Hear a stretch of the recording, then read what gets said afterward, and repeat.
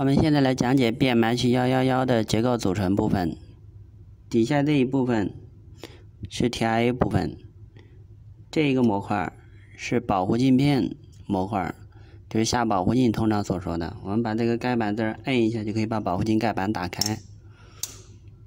这一个部分是身体部分，里面是聚焦镜座。这个部分是准直镜座部分。这里面是准直镜座，通过调这两个顶丝可以带动准直镜座前后左右移动。这只是保护镜片，就在这里面，把这两个螺丝拆掉，把这盖板拿掉，可以把里面准直保护镜片取出来。这个就是 QBH 部分。这上面这部分是调焦的机械组成部分。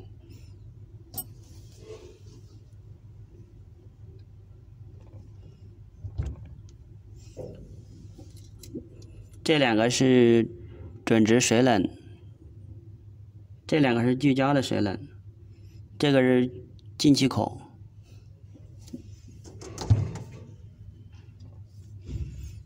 这个是喷嘴冷却。